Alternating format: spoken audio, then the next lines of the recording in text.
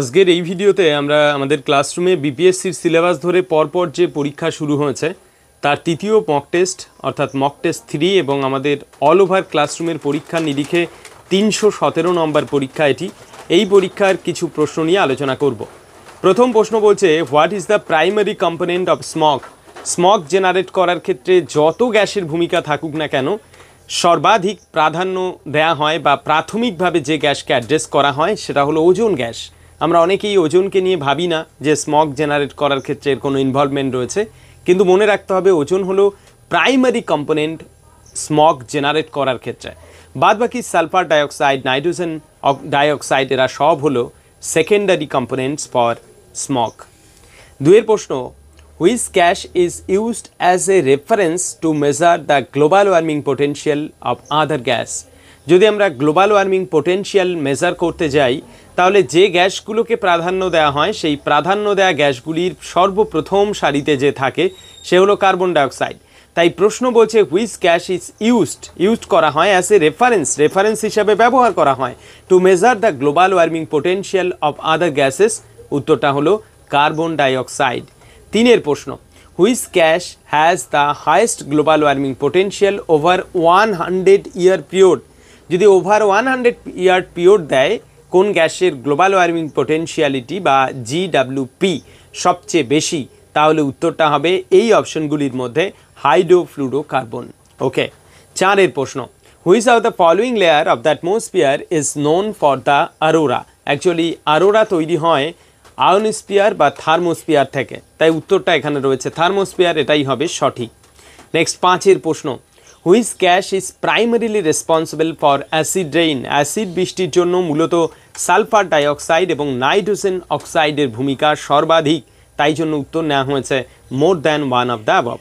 ছয়ের প্রশ্ন, the gas that contribute the most of the natural greenhouse effect on earth? আমরা জানি যে গ্রিন হাউস গ্যাস যত রয়েছে আমাদের বায়ুমণ্ডলে যেগুলো বর্তমানে বেশ উদ্বেগজনক জায়গায় রয়েছে মানে কার্বন ডাইঅক্সাইডের উপস্থিতি, মিথেন, নাইট্রাস অক্সাইড এদের উপস্থিতি। এবং এই গ্যাসগুলো সবই কম বেশি মানুষের বিভিন্ন কার্যাবলীর ফলে অ্যাটমসফিয়ারে অ্যাড হচ্ছে ডে টু ডে। কিন্তু যে গ্যাসটির সাথে মানুষের সরাসরি ইনভলভমেন্ট নেই, সেটা হলো ওয়াটার ভেপার তাই জন্য প্রশ্ন হয়েছে the gas that contribute the most of the natural greenhouse effect on earth বলছে এখানে ন্যাচারাল গ্রিন হাউস গ্যাস তো স্বাভাবিকভাবেই ওয়াটার ভেপার যেটা ন্যাচারালি জেনারেট হয়ে থাকে মিথেন নাইট্রাস অক্সাইড নয়। সাতের প্রশ্ন what is the main source of the methane in the earth atmosphere আমরা জানি যে লাইভ স্টক ডাইজেশন যে প্রসেস রয়েছে, সেই প্রসেসের ফলস্বরূপ মিথেন জেনারেট হয়। সেটা যত মানে উদ্ভিদ, প্রাণীর যে পাচিত অংশ বিশেষ রয়েছে, সেগুলো থেকেই এর জেনারেশন হয়ে থাকে। তাই জন্য জলাভূমিতে বা পচা গার্বেজের মধ্যে মিথেন গ্যাসের জন্ম হয়ে থাকে। আটের প্রশ্ন what is the role of the aerosol in the atmosphere aerosol অ্যাটমসফিয়ারে যে কাজটা করে রিফ্লেক্টিং সানলাইট সানলাইটকে রিফ্লেক্ট করে একদম সঠিক। বলছে অ্যাবজর্বিং ইনফারেড রেডিয়েশন ইনফারেড রেডিয়েশনকে অ্যাবজর্ব করার ক্ষমতা রাখে অ্যারোসল একইভাবে providing nuclei for cloud formation এই কাজটাও করে। তাই জন্য তিনটেই সঠিক উত্তর হবে more than one of the above নয়ের প্রশ্ন which gas is produced by the incomplete combustion of fossil fuel actually আধা দহনের ফলস্বরূপ যে গ্যাস উৎপাদন হয়, অনেকেই আমরা কার্বন ডাইঅক্সাইড দিয়ে দিতে পারি উত্তর, কিন্তু মনে রাখতে হবে বেশ কিছুটা অন্যরকম প্রশ্ন এটা। উত্তর হবে কার্বন মনোঅক্সাইড দশের প্রশ্ন which of one of the primary reason for the increase in atmospheric carbon dioxide level in the last century last সেঞ্চুরিতে কেন? কেন প্রচুর পরিমাণে মানে বেড়ে চলেছে? প্রাথমিক কারণ কি? প্রাইমারি রিজন উত্তরটা হলো burning of fossil fuel fossil fuel বার্নিংয়ের ফলস্বরূপই কিন্তু ডে টু ডে প্রচুর পরিমাণে কার্বন ডাইঅক্সাইড বায়ুমণ্ডলে অ্যাড হচ্ছে। এগারোর প্রশ্ন।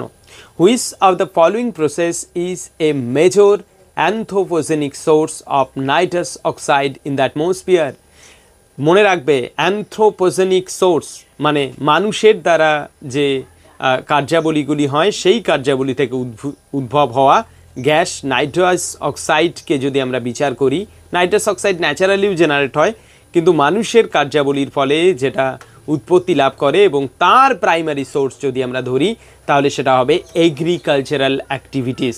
তাই প্রশ্নটা বেশ মজাদার, বলছে which of the following process is a major anthropogenic source of nitrous oxide in the atmosphere agricultural activities বারোর প্রশ্ন which of the following best describe the role of aerosol in climate change climate চেঞ্জে অ্যারোসলের role কী রয়েছে?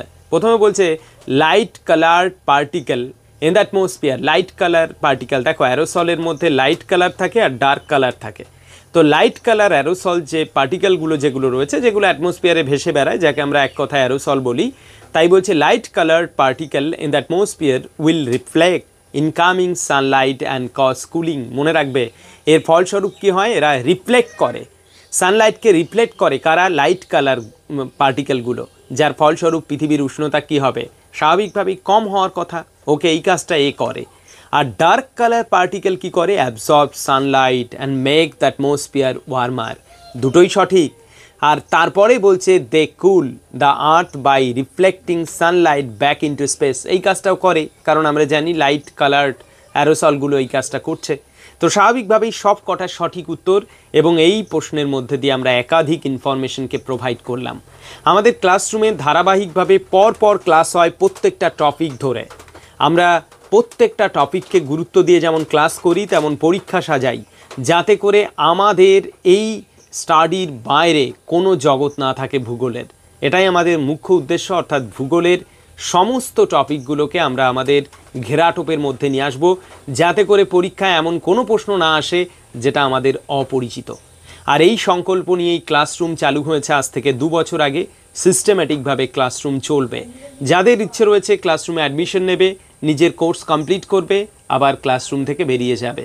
অর্থাৎ ক্লাসরুমে admission নিয়ে সিস্টেমেটিকভাবে যদি কেউ চায় প্রিপেয়ার্ড হতে প্রিপেয়ার্ড হতেই পারে যে কোনো সময় অ্যাডমিশন নিয়ে। পরের প্রশ্ন হলো তেরো।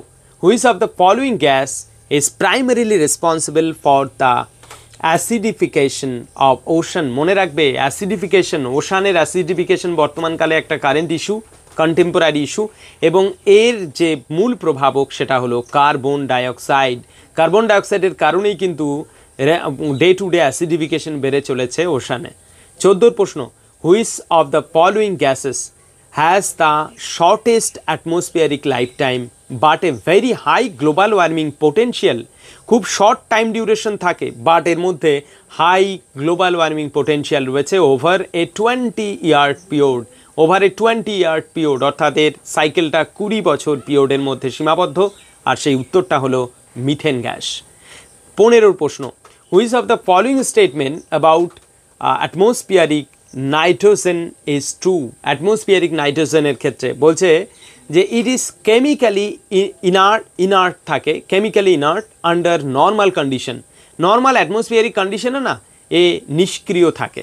But essential for the biosphere in fixed form যেটা আমাদের মৃত্তিকার মধ্যে ফিক্সড হয়ে যায় নাইট্রোজেন ফিক্সড ফর্মে থাকে, সেইটা কিন্তু আমাদের বায়োস্পিয়ারের জন্য ভীষণ দরকার।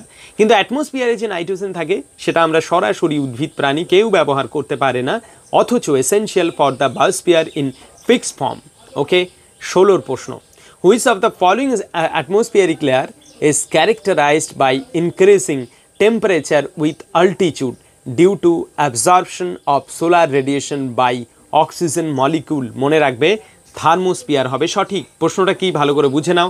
হচ্ছে which of the following atmospheric layer is characterized by increasing temperature temperature ইনক্রিজিংয়ের জন্য এ ক্যারেক্টারাইজড বলছে with altitude due to the absorption of solar radiation by oxygen molecule বেশ অনবদ্য প্রশ্ন, মনে রাখতে হবে। এখানে কি বলেছে? Oxygen molecule. আমরা জানি যে হোমোস্পিয়ার রয়েছে হেট্রোস্পিয়ার রয়েছে। হেট্রোস্পিয়ারের একটা জায়গায় আমরা যদি ডিভিশন করি, তো সেই জায়গায় পারমাণবিক অক্সিজেন লেয়ার রয়েছে। আমরা জানি সবাই। তো স্বাভাবিকভাবেই এখানে প্রশ্ন which of the following atmospheric layer is characterized by increasing temperature অর্থাৎ বায়ুমণ্ডলের উষ্ণতা বাড়াচ্ছে? কে বাড়াচ্ছে? উষ্ণতা বাড়াচ্ছে অক্সিজেন মলিকিউল। কোন স্তরে? থার্মোস্পিয়ারে এখানে খুব অল্প পরিমাণে যে অক্সিজেন মলিকিউল বিলং করে, সেটা কিন্তু টেম্পারেচার বাড়িয়ে তোলে পারমাণবিক অক্সিজেন মলিকিউল। মনে রাখতে হবে, এটা বেশ অনবদ্য প্রশ্ন, যেটা কিন্তু আমাদের ধরাছোঁয়ার মধ্যে থাকে না, আমরা স্টাডিও করি না এইভাবে। আমাদের ক্লাসরুমের প্রত্যেক প্রশ্ন তৈরি করা হয় ইন্টেন্সিভ স্টাডির মধ্যে দিয়ে, যাতে করে কোনো কিছু বাদ না পড়ে। এইভাবে সিস্টেমেটিকভাবে চলবে এবং অনেকের প্রশ্ন থাকে যে ক্লাসরুমে অ্যাডমিশন নিলে কি পাবো, কি না পাবো, সেটা সংক্ষেপে বলছি ক্লাসরুমে অ্যাডমিশন নিলে এতদিন পর্যন্ত যত ক্লাস হয়েছে, সংখ্যাটা চারশো দশের কাছাকাছি। সব ক্লাস সে দেখতে পারবে, অর্থাৎ জিওগ্রাফির যত টপিক হয়, সব টপিকের ক্লাস সে পাবে। এবং বর্তমানকালে তিনশো পনেরোটার উপরে পরীক্ষা চলছে, সেই সব পরীক্ষা সে দেখতেও পারবে এবং পার্টিসিপেটও করতে পারবে। এবং সাপোর্টিং হিসাবে আমাদের রয়েছে একটা লাইব্রেরি সেই লাইব্রেরিকে সে অ্যাক্সেস করতে পারবে নিজের স্টাডি করার জন্য সেলফ স্টাডির জন্য। ওকে পরের প্রশ্ন, সতেরো। বলছে, which gas is not a major contributor to the formation of photochemical smog photochemical smog generate করার ক্ষেত্রে কে রেসপন্সিবল নয় এখানে। নাইট্রোজেন ডাইঅক অক্সাইডের তো ভূমিকা রয়েছে, নাইট্রোজেন অক্সাইডের। আর ভোলাটাইল অর্গানিক কম্পোনেন্টের ভূমিকা রয়েছে। এবার পরে রয়েছে ক্লোরোফ্লুরোকার্বন মনে রাখবে, এর ভূমিকা নেই। এর ভূমিকা নেই। প্রশ্ন হলো, which gas is not a major contributor তো ক্লোরোফ্লুরোকার্বন হবে। ফটোকেমিক্যাল স্মক জেনারেট করার ক্ষেত্রে ক্লোরোফ্লুরোকার্বনের প্রত্যক্ষ পরোক্ষভাবে কোনো ভূমিকা নেই। আঠেরোর প্রশ্ন, বলছে in the earth atmosphere the primary sink for methane is primary সিঙ্কটা কোনটা? উত্তরটা হলো oxidation by hydroxyl radicals in the troposphere okay উনিশের প্রশ্ন which of the following gas contribute to both the green house effect and ozone depletion green house এফেক্টেও এর ভূমিকা রয়েছে ozone ডিপ্লেশনেও ভূমিকা রয়েছে উত্তরটা নাইট্রাস অক্সাইড কুড়ির প্রশ্ন অবশ্যই সকলের উদ্দেশ্যে, বলছে which green house gas has the highest radiative forcing radiative forcing কোন গ্রিন হাউস গ্যাসের সবচেয়ে বেশি? Which green house gases has the highest radiative forcing এটাই হলো সকলের উদ্দেশ্যে দেয়া প্রশ্ন, কুড়িতম প্রশ্ন। আমাদের মূল ক্লাসরুমে এই পরীক্ষাটা হয়েছে আশি নাম্বারের, কারণ বিপিএসসিতে পেপার টুয়ে জিওগ্রাফির আশিটি প্রশ্ন থাকবে, তাই জন্য আমরা প্রত্যেকটা সাব টপিক ধরে ধরে কি করেছি, আমরা পুরো সিলেবাসটাকে চোদ্দোটা খণ্ডে ভাগ করেছি। এবং চোদ্দোটা পরীক্ষার আমাদের টার্গেট সেট করা হয়েছে, যেটা প্রতি রবিবার অথবা কোনো দিন, কোনো সপ্তাহে শনিবার বা সোমবার এই এক একটা প্রশ্ন, এক একটা পরীক্ষা আমাদের ক্লাসরুমে ওপেন হচ্ছে। অলরেডি মানে তিনটে পরীক্ষা ওপেন হয়ে গেছে। এবং সাব টপিক ধরে ধরে যত পরীক্ষা বিপিএসসির জন্য দরকার, সব পরীক্ষা আমাদের ক্লাসরুমে অলরেডি সিস্টেমেটিকভাবে সাজানো হয়ে গেছে। সেই পরীক্ষাগুলো দেয়া এবং তারপরে সেই গ্রুপ টেস্টগুলো দেবে। গ্রুপ টেস্ট কীভাবে জেনারেট করা হয়েছে? পুরো সিলেবাসকে সাপোজ ধরো ক্লাইমেটোলজির পার্ট সেই পার্টটাকে একটা গ্রুপ করে নেওয়া হয়েছে। সেই গ্রুপের ওপরে আশিটি প্রশ্ন।